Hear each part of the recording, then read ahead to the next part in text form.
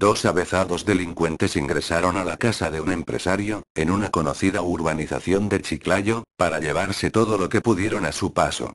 Según el agraviado Luis Verasteri, indicó a los efectivos policiales el robo ocurrió el pasado viernes en horas de la noche, aprovechando que no se encontraban en su domicilio, ubicado en la cuadra 1 de la calle Los Limoneros de la urbanización Santa Victoria.